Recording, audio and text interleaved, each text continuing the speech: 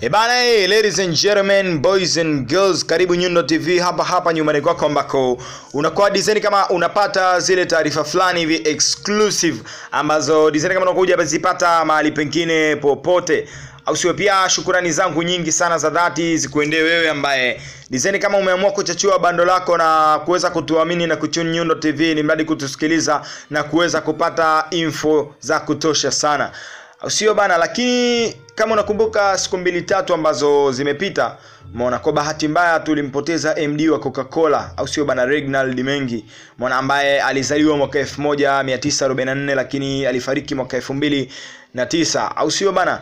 Lakini sijui Tanzania au mitandao ya kijamii kwa sasa imefikia wapi, lakini naona hii imekuwa kwa sasa ni tabia fulani hivi ambayo imekuwa ni endelevu kwamba endapo atafariki celebrity yoyote au mtu mwenye pesa au mtu maarufu, mwana watu wengi hutumia ile opportunity, wana wengine hutumia opportunity kuonekana kwamba marehemu alikuwa mbaya according to bifu zao na nini na vitu kama hivyo, maana kwamba marehemu endapo atakuwa amepoteza maisha, huweza wengine kuingia mitandaoni na kuposti chochote ambacho mtu anakuwa anajisikia bila kujali familia yake au watu wake wa karibu jinsi gani watavyoweza kujisikia. Hii ilitokea, tuliona pia kwa ndugu Ruge Mutahaba, mwana mkurugenzi wa uzalishaji wa vipindi wa Clouds Media Group, au sio? Alipofariki alitokea Dudubaya na aliongea vitu vingi sana, mwana, ikawa sasa sio watu wanajadili na wana majonzi ya msiba tena, lakini ilikuwa design kama ni, ni, ni, ni watu kutaka wengine kuvutana sasa, kwamba wengine waonyeshe kwamba alikuwa akisaidia jamii,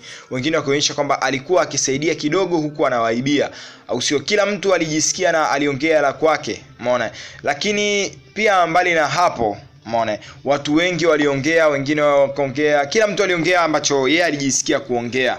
Umeona, lakini hatukuelewa ishu zilikuwaje, lakini design kama issue zikaja zikazima, tukampumzisha salama. Umeona, lakini pia ishu kama hiyo imekuja tena imejitokeza, umeona, kwa mara nyingine ya pili kwa msiba wa ndugu yetu, umeona, bwana Reginald Limengi, ambako msiba siku ambayo umetokea Maona yalianza maneno kwa dada mmoja ambaye yeye anaishi Marekani, anaitwa Mange Kimambe. Kama utakuwa haumjui Mange Kimambe, kama Mange ni Kimambe ni mtu fulani hivi ambaye yeye mara nyingi huwa unaweza ukafanya kitu lakini yeye akatoa siri yako nyingi, lakini yeye yuko Marekani, lakini yeye huwa anasema kwamba watu watu wengi wasimnukuu vibaya, yeye taarifa huwa anazipata kwa wahusika wenyewe. Umeona, yeye Mange huaga ndo anaongea hivyo, ili mradi design kama kama amepost kitu ye ajitoe kwenye hiyo issue, lakini yeye anasemaga kwamba watu wengi na huweza kudiriki mpaka ku screenshot message ambazo watu wengi huwa wanamtumia ye. Kazi yake ni wale watu ambao wanashindwa kuviposti vile vitu, ye huwa anaviingilia na kuweza kuviposti na kutoa ukweli wote, umeona. Lakini pia Mange Kimambe this time tunaona kabisa kwamba hajafanya kitu fulani hivi ambacho ni kizuri, wala hajafanya busara mwana kwa kuamua kuanza kupost picha umeona za kelini pamoja na mume wake aliyefariki bwana Reginald Mengi mwana na kuweza kumshutumu Kailini kwa kwa kwamba yeye anahusika kwa asilimia nyingi sana umeona kwa kifo cha ndugu yetu bwana Reginald Mengi umeona. Yeye anasema kwamba design kama kulitokea issues ambazo Kelin alimwambia mzee kwamba watoto hawajafanikiwa kufurahia safari ambayo walikuwa wameenda Zanzibar kwa ajili ya Easter au Pasaka. Umeona? Kwa hiyo akasema kwamba watoto wanahitaji kwenda Dubai ili mradi kuweza kufurahia zaidi sikukuu yao. Umeona? Mzee aliamua kuingia gharama na kuweza kusafirisha familia yake yote kuelekea Dubai, na mnukuu Mange. Umeona? Lakini issues ambazo ikaja ikatokea ni kwamba Mange nani nani Kailin huwa akiua mara nyingi anakuwa akisafiri maana na wafanyakazi wasiopungua watatu endapo ataenda safari yoyote nje ya Tanzania, maana husafiri na wafanyakazi wasiopungua watatu. Lakini this time hata pia kimnukuu vizuri, pia hata alivyoenda Zanzibar alienda na wafanyakazi, lakini this time akasema ili mradi kupunguza gharama, maana aliondoka yeye, mume wake na watoto only, maana tunamnukuu Mange Umeona, pia alifika kule, mwana bata liliendelea kwa muda mchache, mwana lakini baada ya hapo mzee alianza kama kuumwa fulani hivi, mwana mzee aliumwa aliumwa aliumwa, umeona, na Kelini hakuwa na pesa ya kutosha ya kuweza kumtibia mzee Dubai, lakini alifanikiwa kupata mawasiliano mwana kwenye bodi ya Coca-Cola na alifanikiwa kutumiwa pesa mwana, lakini alikuwa akiwaambia watu wengi wa familia kwamba wasije, mzee yuko cool, mzee yuko okay, ni mambo machache tu ambayo yanakuwa kama design kama hayako sawa mwana, lakini baada ya kuona kwamba usumbufu wa familia unazidi, Keilini aliamua kubadilisha even namba ya simu umeona, lakini familia ilifanikiwa kufu, kufuatilia.